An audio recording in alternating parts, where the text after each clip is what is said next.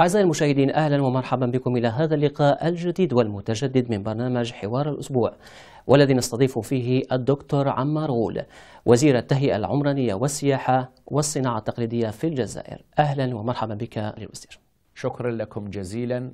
معالي الوزير دعنا نبدأ من الوضع الحالي لقطاع السياحة في الجزائر. كيف ترى في ظل الأوضاع الحالية؟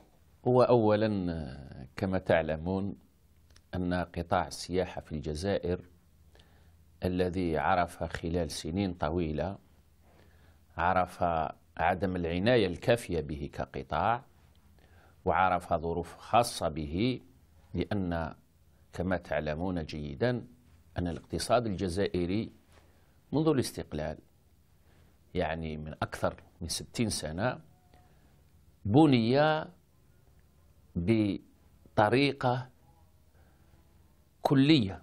يعني الاتكال الكلي على المحروقات ومداخل المحروقات. وعندها جل القطاعات الكبيرة المنتجة لم تحظى بالعناية الاقتصادية الهامة اللازمة. هذا لا يعني أن هذه القطاعات ليس فيها شغل لا يعني أن هذه القطاعات لم تنتج لكن مقارنة بقدرات الجزائر. مقارنة بما تزخر به الجزائر. من قطاع فلاحي من قطاع سياحي من إمكانيات صناعية لم تكن لها الأولوية اللازمة لم تكن لها الأهمية اللازمة لتصنع اقتصادا قويا متنوعا خارج المحروقات. ويأتي البرنامج الأخير للسيد رئيس الجمهورية عبد العزيز بوتفليقة ومخطط عمل الحكومة هذه المرة لينقل نقلة نوعية توجه الاقتصاد الوطني من اقتصاد ريعي يتكئ كليا على مداخل المحروقات إلى ضرورة بناء اقتصاد وطني متنوع خارج المحروقات.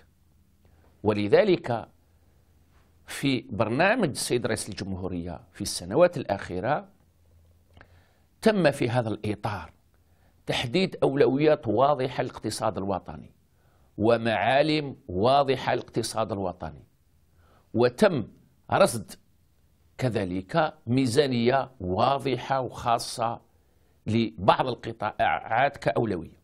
وفي هذا الإطار تم اختيار خمس قطاعات حيوية لتكون أو من خلالها يبنى اقتصاد وطني متنوع خارج المحروقات.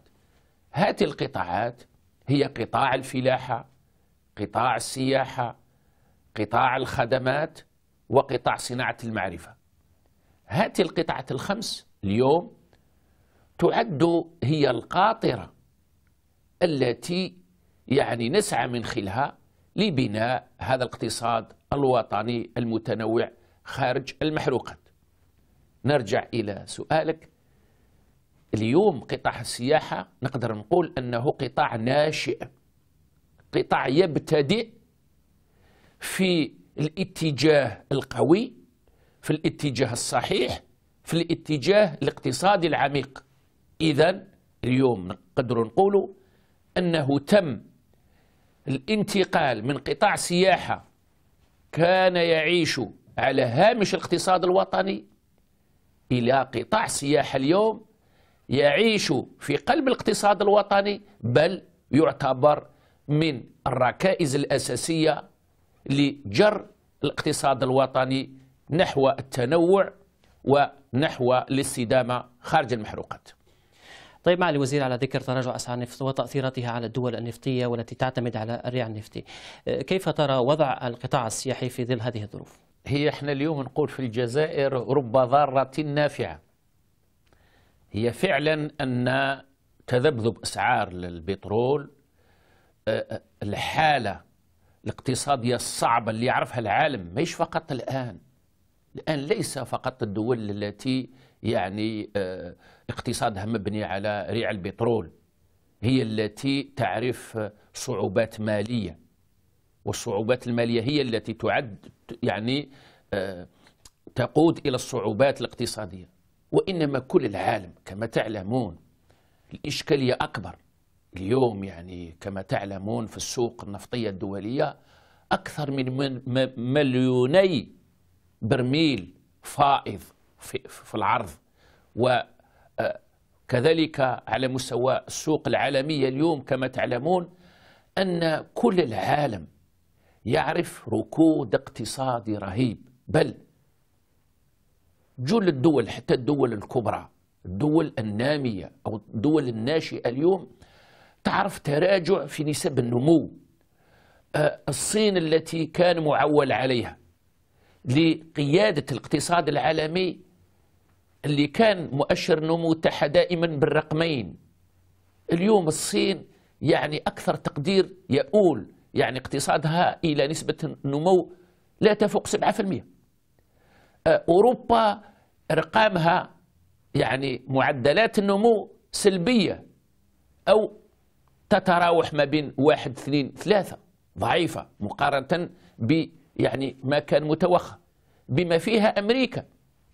يعني معدلات النمو مؤشرات النمو كل استراتيجيات والأهداف للدول النامية أو الناشئة وكل التكهنات وتحليلات الخبراء التي كانت معدة سلفا أصبحت اليوم في خبر كان.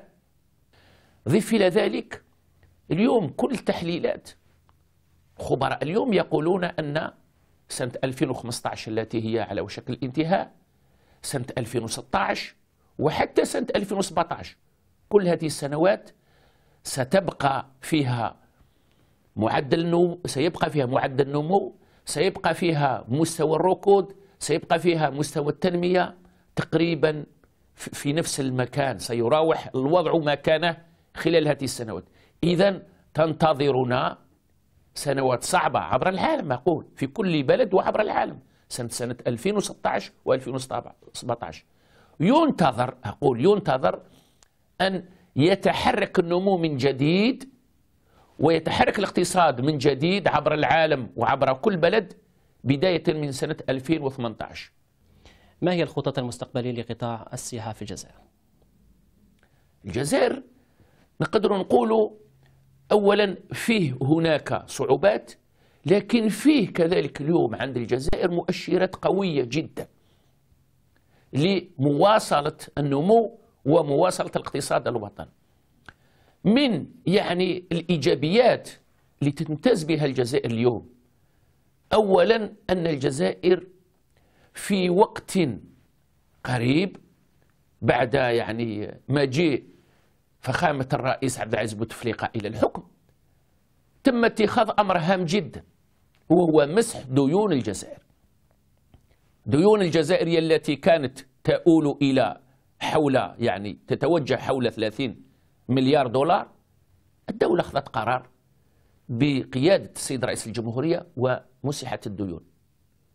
إذا اليوم ما عندناش عائق ديون خارجية. وهذا مؤشر هام جدا في الاقتصاد. اليوم ما عندناش عائق يعني على أننا نمول من ميزانية الدولة ومن خزينة الدولة كذلك بما يسمى خدمات الديون في ظرف اقتصادي ومالي صعب وهذا كذلك من المؤشرات الإيجابية والشيء الأجمل اليوم في الجزائر. لما نجي لقطاع السياحة مثلا اليوم فيه إقبال كبير جدا في الاستثمار في قطاع السياحة في الجزائر. الجزائر بلد قار فيه يعني ساحل جذاب أكثر من 1600 كيلومتر. الجزائر يعني يعني عرضها فقط 3000 كيلومتر من مدينة إلى مدينة من العاصمة إلى عين قزام بتمراس 3000 كيلومتر. الجزائر لديها حدود تقدر بسبعة آلاف كيلومتر. الجزائر أكثر من يعني 2 فاصل أكثر من 2.4 مليون كيلومتر مربع. بتضاريسها بخيراتها يعني اليوم تتأهب وتعمل لتثمين كل المؤهلات والقدرات الموجودة في الجزائر من خيرات طبيعية من خيرات مادية ومن خيرات لا مادية. وهذا ما نحن اليوم من خلال يعني الوزارة التي نشرف عليها تهيئة الإقليم نعمل في إطار تنسيق مع 21 قطاع وزاري من خلال مخططات توجيهية لكل قطاع إلى آفاق 2030 في إطار توجيه هذا الاقتصاد في إطار هذا الاهتمام. ضيف إلى ذلك قلت قطاع السياحة في الجزائر اليوم 99% يعني اليوم راه يبنى من خلال القطاع الخاص والاستثمار الخاص والأموال الخاصة وبالتالي لا تؤثر عليه لا يعني انخفاض ولا شح ولا يعني أي مداخيل الميزانية التابعة للنفط. معالي الوزير نستكمل هذا الحوار ولكن بعد فصل قصير. أعزائي المشاهدين نستكمل هذا الحوار بعد فاصل قصير. ابقوا معنا.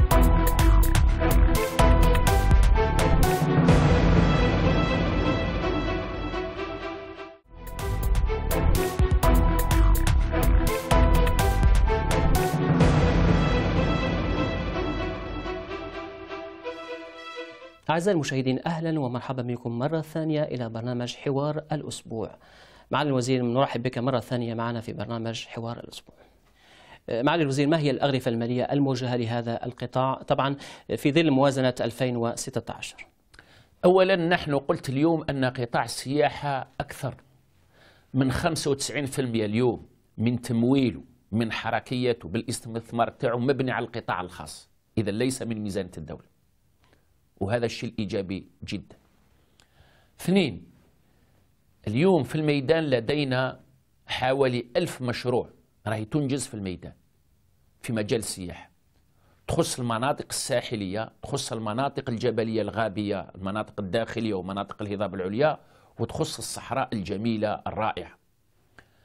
هذه المشاريع إذا موزعة عبر كل تراب الوطن. تخص بناء قرى سياحية تنخرط جماليا وإيجابيا مع البيئة والمحيط وتخص بناء منتجعات سياحية بناء بما يسمى الفضاءات السياحية. أين فيها؟ تكامل وتجانس ما بين قطاع السياحة والنزهة والترفيه من جهة وقطاع الثقافة وقطاع الرياضة وقطاع الصحة. كذلك خذينا العبرة والدروس من ما تم إنجازه في الدول المجاورة والدول الأخرى في مجال السياحة إذ اليوم وجهنا كل الاستثمار السياحي في الجزائر إلى مشاريع مستدامة وليست مشاريع فصلية أو مشاريع يعني مرحلية. كذلك في هذا الإطار هذا الألف المشروع منها فنادق حضارية منها فضاءات سياحية هامة جدا على كل المستويات منها كذلك السياحة الطبيعية منها السياحة التي تندمج مع البعد الفلاحي منها السياحة التي علاقة عندها علاقة بالبعد الديني كالمعالم الدينية الهامة جدا. لما نتكلم عن المعالم فالجزائر تزخر بتراث هام جدا. تراث يعود إلى ما قبل الإسلام قرون.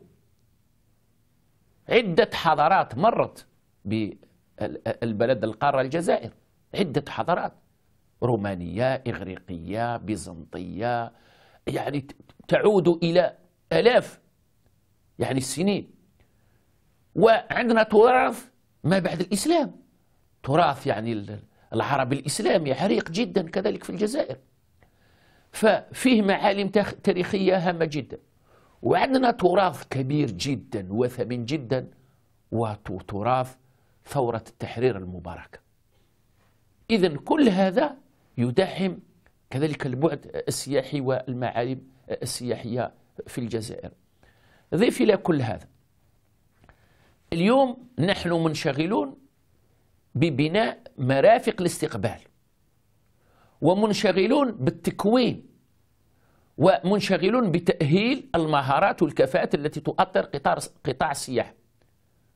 على سبيل المثال اليوم فلدينا في مجال التكوين يعني مدارس مستوى دولي يعني تكون مستوى خمس نجوم فما فوق كالمدرسة آه، تاع السياحة والفندقة اللي موجودة بعين بنيا اليوم. آه، فهي مدرسة جزائرية آه، بالشراكة مع مدرسة لوزان السويسرية تأطير تاعها من خبرات دولية ويعني تكون يعني قدرة التكوين تاعها ألف يعني مقعد. على كل مستويات مستوى البسيط مستوى ليسانس مستوى الماستر ومستوى الدكتوراه في مجال يعني الخدمات والنشاطات السياحية والنشاطات الفندقية إن على مستوى التسيير أو ال management أو على مستوى ال marketing أو على مستوى كل الخدمات. إذا كل هذا يعني نقدر نقول يدعم يدعم البعد السياحي في الجزائر والسياحة في الجزائر. لن تتأثر قلت لن تتأثر بالعكس السياحة في هذا الظرف تتأثر إيجابيا لأن حتمية الذهاب إلى اقتصاد وطني متنوع خارج المحروقات يفرض علينا. قلت على أننا نزيد في السرعة ونزيد في إتقان العمل ونزيد في بعد النظر الاستشرافي لهذا القطاع. على ذكر مساهمة السياحة والقطاع السياحي في الناتج المحلي آه، ما هي تقديراتك ل 2015 و2016 بكم سيساهم هذا القطاع في الميزانية وخزينة الدولة؟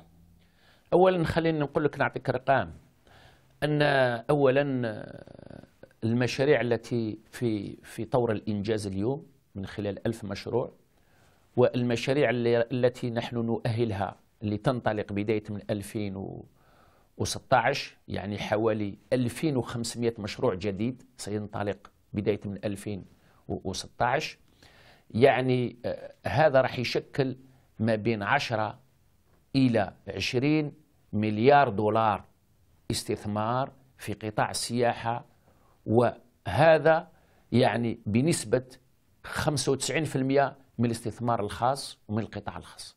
هذا فيما يخص السياحة في الجزائر. أضيف إلى ذلك اليوم السياحة قلت نحن نبتدئ نحن في البداية. مشاركة السياحة في الاقتصاد الوطني في الناتج الداخلي الخام الجزائري اليوم تقدر ب 2% فنحن من خلال ألف مشروع الأولى التي هي اليوم يعني في طور الإنجاز والتي نبدأ في تسليمها هذه المشاريع سنوات 2016-2017 يعني قريبا جدا. فنتوخى من ذلك ونستهدف أن نرفع نسبة النمو أو نسبة يعني مساهمة قطاع السياحة من 2% إلى 10% لنصل إلى يعني المعدل المطلوب المعدل الدولي المطلوب لمساهمة يعني قطاع السياحة عبر يعني في الاقتصاد في الاقتصاديات للدول. ونعمل بعد يعني الدفع ب 1500 مشروع جديد إلى رفع هذا المستوى إلى أبعد من ذلك. السياحة عندها كل هذه المؤشرات والمؤهلات لتصل أبعد. ضف إلى ذلك نحن من خلال هذه المشاريع سنصل إلى عرض إلى إنجاز عرض يقدر ب 500 ألف سرير كطاقة استقبال في الجزائر. و500 ألف سرير حسب يعني المعطيات وحسب المؤشرات تاع المنظمة العالمية للسياحة تتطلب أو تدر علينا 200 ألف و500 ألف منصب شغل جديد. و200 ألف و500 ألف منصب شغل جديد في كل الوظائف الخاصة في مجال السياحة. 200 ألف و500 ألف منصب شغل جديد مباشرة. ولا ننسى أن في السياحة كل منصب مباشر على الأقل فهو يجر معه على الأقل ثلاث مناصب يعني غير مباشرة. ضيف إلى ذلك لا ننسى أن في مجال السياحة لما تنطلق السياحة حسب المعايير نفسها تاع المنظمة العالمية للسياحة. فلما ينطلق بقوة قطاع السياحة فقطاع السياحة يجر معه خمسين قطاع. وهذا يعني مدون ومعروف ومسجل في كل يعني أدبيات وفي كل يعني معطيات المنظمة العالمية للسياحة. إذا فيه يعني تطور إيجابي في هذا الإطار. إحنا متفائلين كثير كثير كثير بقطاع السياحة فقط. كذلك لا ننسى في الجزائر نحن رتبنا أولوياتنا. وبالمناسبة فرتبنا هذه المشاريع وهذه الاستثمارات إلى ثلاث برامج هامة جدا. البرنامج الأول وهو موجه إلى السياحة الداخلية يعني السياحة للأسرة والعائلة الجزائرية. البرنامج الثاني موجه إلى السياحة الخاصة بالجالية الجزائرية في الجزائر وهي بالملايين. والبرنامج الثالث وهو موجه إلى سياحة يعني الأجانب. وفي هذا الفضاء وما اقترحناه يعني وما اقترحناه كبلد وما, اقترحته كوزير للسياحة أن في هذا الفضاء الأجانب أننا نخصص برنامج خاص للفضاء العربي في إطار تشجيع يعني السياحة البينية في إطار الوطن العربي أو السياحة المتعددة الأطراف في الفضاء العربي. طيب معالي الوزير كل الدول طبعا التي تعتمد على السياحة كمداخيل رئيسية للخزينة تسعى إلى استقطاب رؤوس أموال. هل وزارة السياحة في الجزائر أو الدولة الجزائرية تسعى إلى استقطاب هذه الرؤوس والاستثمارات الأجنبية؟ إحنا أولا لحد الآن أقول ليس لدينا مشكلة مشكلة تمويل المشاريع في الجزائر. لأن قلت لك اليوم 95% من المشاريع اللي راهي اليوم قيد الإنجاز هي من تمويل المستثمرين والخواص الجزائريين. ما عندناش إشكال. لكن من بين هذه المشاريع هناك عدة مشاريع في إطار الشراكة مع الدول يعني الخارج. فيه مستثمرين يعني من الإمارات العربية المتحدة. فيه يعني مشاريع هامة جدا. فيه عدة مشاريع يعني في إطار الشراكة مع دول الخليج مع الدول العربية ودول أوروبا أوروبية ودول أسيوية. إذا فيه عدة مشاريع شراكة. لكن هذه الشراكة ليس ما بين القطاع العمومي وهذه الدول أو المستثمرين الخواص الأجانب وإنما هذه الشراكة نحن نؤطرها ونحفزها ما بين المستثمرين الخواص الجزائريين والمستثمرين الخواص لهذه الدول. وفي هذا الإطار بطبيعة الحال فيه بما يسمى تركيبة تركيبة في إنجاز المشاريع إن على مستوى التركيبة المالية أو التركيبة فيما يخص الاستغلال فيما بعد أو فيما يخص التسيير. وفي هذا الإطار نحن نرحب في الجزائر ونحفز ونشجع اليوم الاستثمار في قطاع السياحة في الجزائر. علاش؟ لأن قطاع السياحة في الجزائر اليوم قطاع واعد قطاع مربح وعلى الفور. لأن قلت اليوم مثلا ما نعطي أمثلة. اليوم على مستوى التراب الوطني لدينا عرض يقدر بمئة ألف وأربعة ألاف سرير. ونحن هدفنا في المدى يعني القريب وهو الوصول إلى بناء خمسمائة ألف سرير.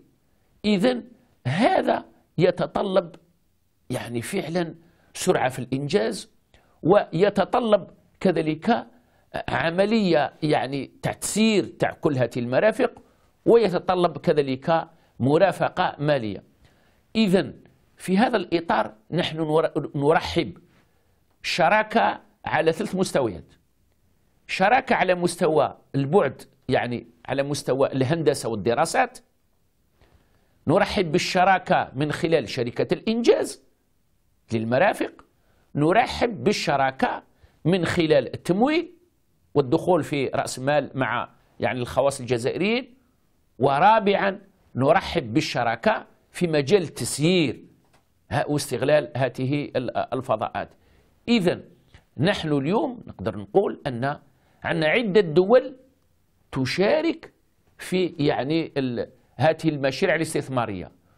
واليوم من خلال التحفيزات الجديدة ومن خلال المرافقات الجديدة ومن خلال التسهيلات الجديدة فنحن ندعم بقوة الاستثمار الأجنبي نحو الجزائر وندعم بقوة أكبر الاستثمار العربي نحو الجزائر لأننا كذلك في هذا الإطار نريد أن ندعم وأن نقوي التراث العربي الإسلامي من خلال المشاريع الاستثمارية في الجزائر.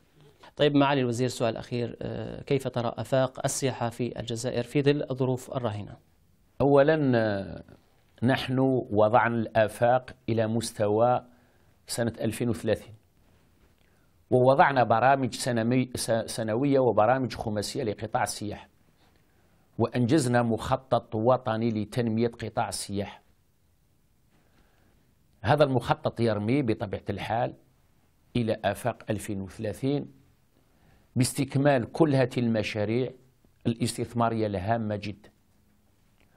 وبعد استكمال كل هذه المرافق الهامة جدا عبر كل تراب الوطن عندها نستطيع أن يكون لنا عرض من خلاله نستقطب أقول نستقطب ما مقداره معدل ما مقداره 20 مليون سائح سنويا ببناء كل المرافق التي هي اليوم مبرمجة من خلال هذه المشاريع الاستثمارية. يعني ألف مشروع اللي راهي في الإنجاز و2500 مشروع التي ستنطلق سنة 2016 اثنين أننا نرفع قلت مستوى مساهمة قطاع السياحة في الناتج الداخلي الخام ما بين 10 إلى 15% وهذا رقم يعتبر هام في الاقتصاد الوطني وحتى في الاقتصاديات الدولية.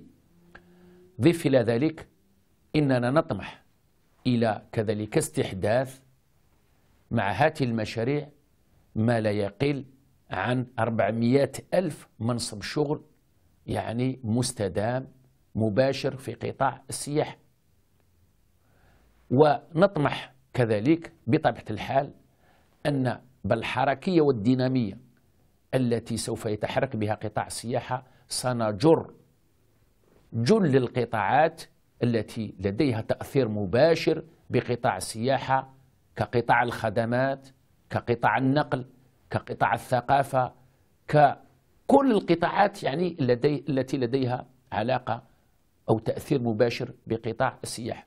معالي وزير التهيئة العمرانية والسياحة والصناعة التقليدية الدكتور عمار غول. باسمي الخاص واسم قناة CNBC عربية نشكرك. شكرا جزيلا على هذا الحوار الشيق. أعزائي المشاهدين لقاء قريب. إلى اللقاء.